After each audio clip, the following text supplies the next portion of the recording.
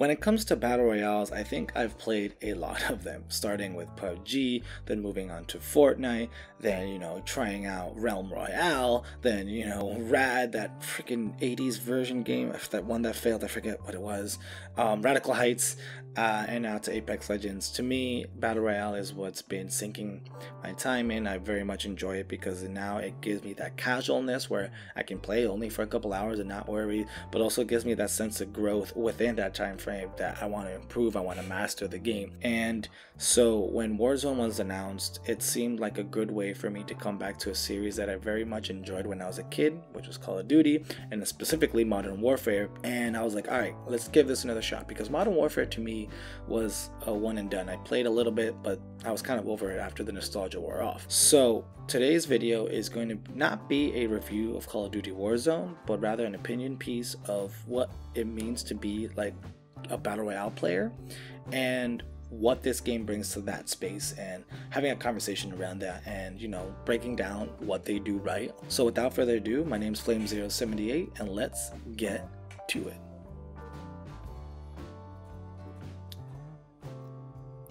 We can't talk about Warzone without talking about Call of Duty Blackout because this is, you know, for the most part, their first attempt at the Battle Royale space. You know, this little trend that everyone's kind of making millions off, right?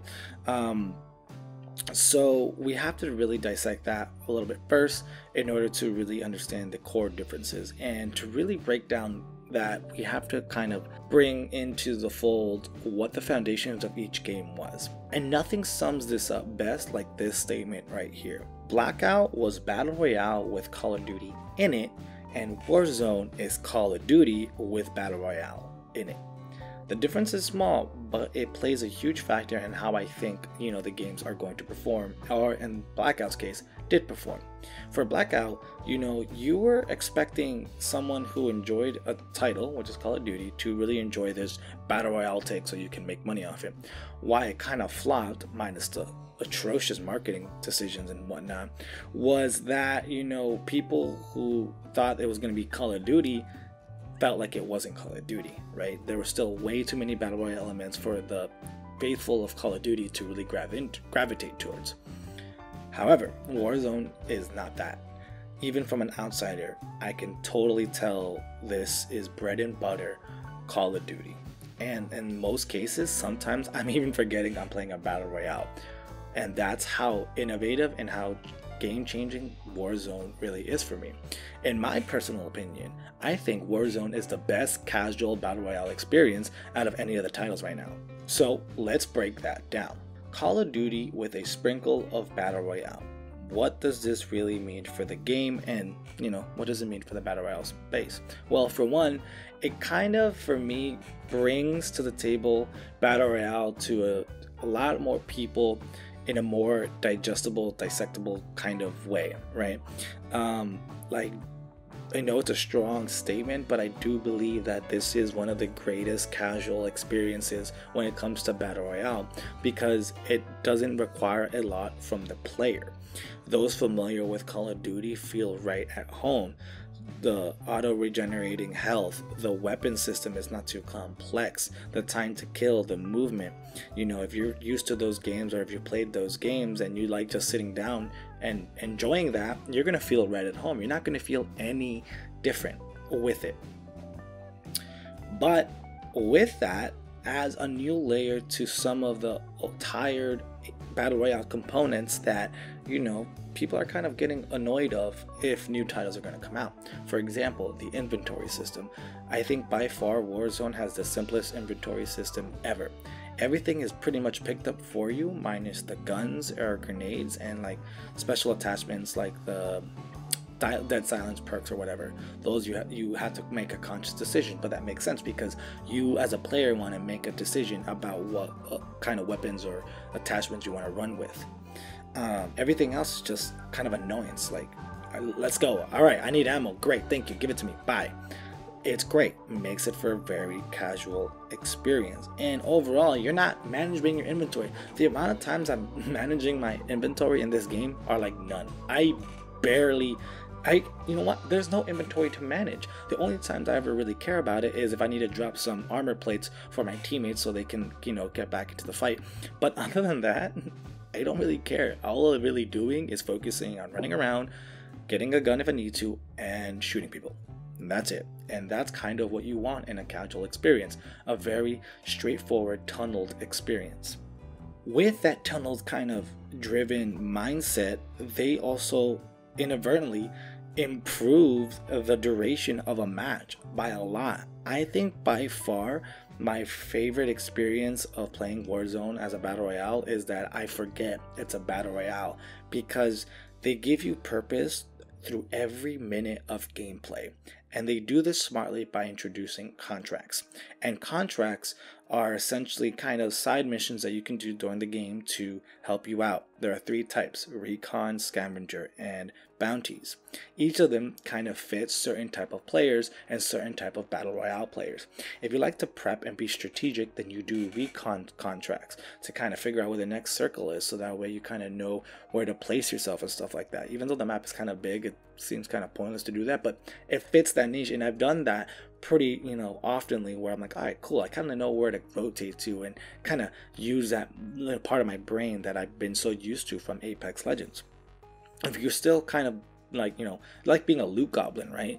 And trying to find the best loot, then do scavenger contracts and they'll take you to weapon crates and stuff like that to hopefully get you the stuff that you need.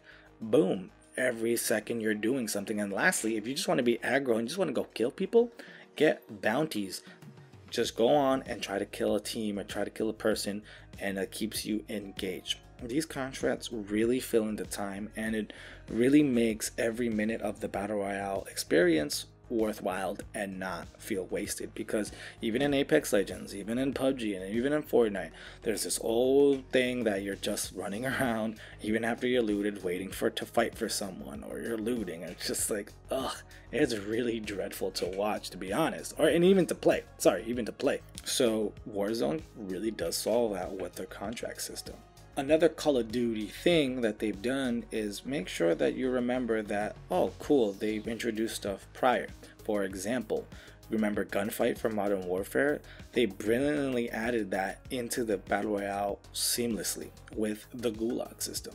The Gulag system essentially allows you to have a 1v1 to come back into the fight after your first death. Now, that is brilliant just in itself because it allows a player to be in charge of their own, you know, respawn at least once, right? So it alleviates the really annoying moment in a battle royale where you die right away and that kind of is it for you, right? Apex softened the blow by having the respawn beacons, something that PUBG did not have, and now with the Gulag system, even better because there's no need to rage. Just 1v1 someone and hopefully get back. But even on top of that, their default respawn system works very well because essentially, as long as you have the cash by, you know, engaging in the game, you get to come back a limited amount of times as long as there is a shopping cart or buy, a buy station around you, right? Very, very cool. Another thing too to add in terms of engagement, in terms of longevity, in terms of just like feeling like you're doing something. Say for example you get back and you're you know you're the only one left and you need to respond to your teammates. Since it depends on cash, right? It makes you an active player, meaning you're not just running to a beacon to respawn someone. You need to go get kills. You need to go do contracts because you need to get the money to get your players back. This is genius because again, it allows players to be active and being active in a battle royale makes the time go by quicker. Once I got the ball rolling and I was in matches, I completely forgot again I was playing battle royale and how long I was playing just because of what the um, sorry, the amount of things I was doing in the game. So brilliantly for a casual experience, the fact that you're always doing something beautiful, amazing, and I have to praise Warzone for that.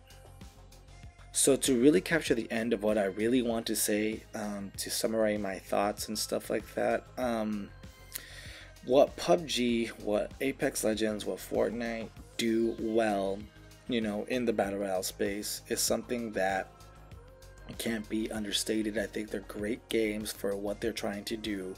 Apex Legends for me is still one of the greatest uh, team battle royale games out there. Um, but no matter what, the battle royale titles do lack something to really capture someone who doesn't like battle royale. And Warzone here, I think, can get that market and have staying power because it can capture that market. The annoyances of inventory management are pretty much gone. The need for running around aimlessly for about 15 minutes is gone. The ability to just wait and, you know, wait for someone to bring you back and feeling annoyed about that, that is gone because at least with the Gulag system, you have one attempt to bring be in charge of your own respawn these things that the other titles don't provide, um, I think create the best casual gaming experience in the battle royale space, um, and I think that's really cool. I think that's awesome that Warzone was able to accomplish this. Um, and I think it has really good legs to at least stay here for a while. And yeah, um, but that is pretty much my thoughts and I really guys hope you guys enjoyed. And let me know what you guys think down below of the Warzone mode um, and anything Battle Royale. Let me know. I definitely would like to have a conversation with you guys.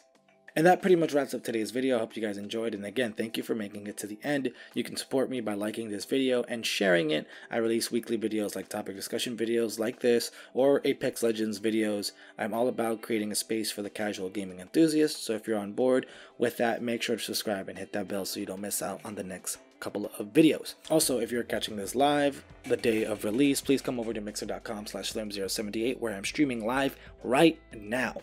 And other than that, I also stream Monday, Wednesday, Fridays um, to make sure the times make sure to check out my socials and twitter which is all down below in the description box. And that is it for me. I hope you guys have a fantastic day. My name is Flamezero78 this is perspective gaming. Until next time adios